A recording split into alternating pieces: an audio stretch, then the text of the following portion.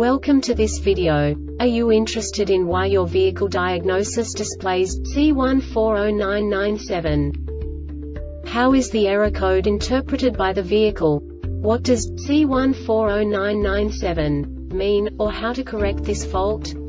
Today we will find answers to these questions together. Let's do this. First, let's look at the history of diagnostic fault code composition according to the OBD2 protocol, which is unified for all automakers since 2000. We divide the electric system of automobile into the four basic units. Powertrain, body, chassis, network. This distribution is defined in the first character code. If the second character is expressed as zero, it is a standardized error.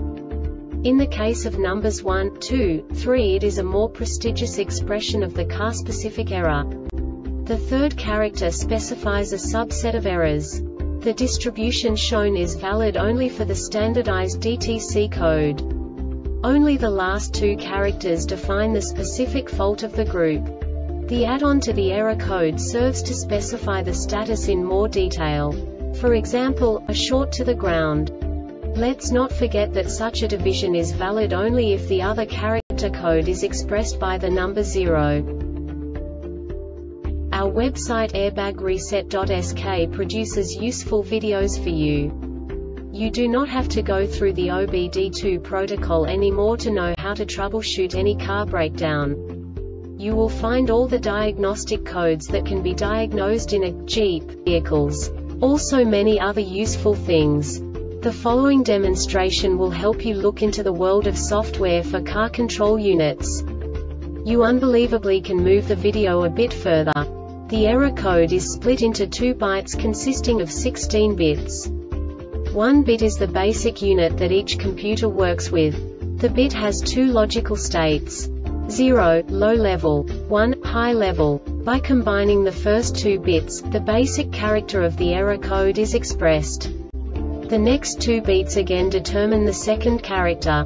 The last beat styles of the first byte define the third character of the code. The second byte is composed of a combination of 8 bits. The first 4 bits determine the fourth character of the code. And the combination of the last 4 bits defines the fifth character. A single byte conceals 256 possible combinations. We now know in what way the diagnostic tool translates the received information into a more comprehensible format. The number itself does not make sense to us if we cannot assign information about it to what it actually expresses. So, what does the diagnostic trouble code C140997 interpret specifically Jeep car manufacturers? The basic definition is brake assist vacuum too low no subtype information. And now this is a short description of this DTC code.